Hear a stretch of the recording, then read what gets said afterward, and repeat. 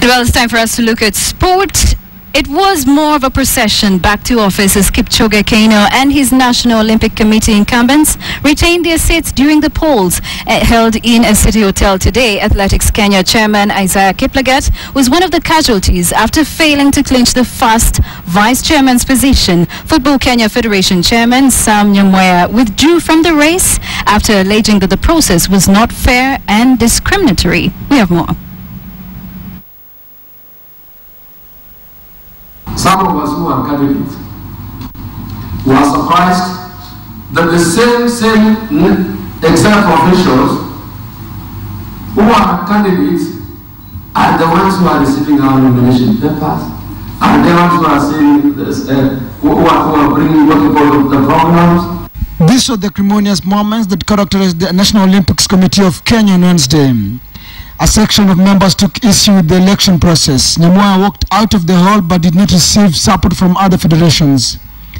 It was only the Taekwondo Federation that was barred from the polls as they had internal leadership wrangles.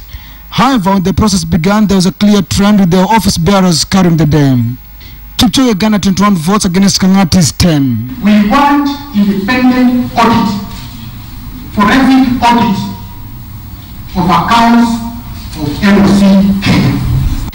David Okeyo stepped down for his AK chairman Isaiah Kiplagat, who was vying for the first vice chairman but who lost to Swimming Federation chairman Ben Ekumbo.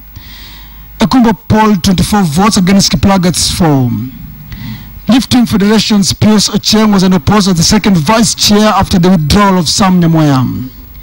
Francis Paul was unopposed as the Secretary General while Frida Shiroya defeated journalist Elena Shiveka to retain the treasurer's post.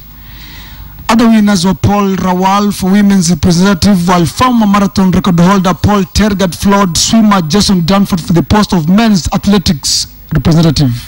Former long distance greats Tegla Loroupe and Catherine Ndereba will sit in the executive committee together James Chacha, Stephen Arabsoy, Anne Jambi and hockey chairman Risham Baines. For the first time, athletics Kenya will not have a representative in the committee. Personally feel that we need a representative from the athletics.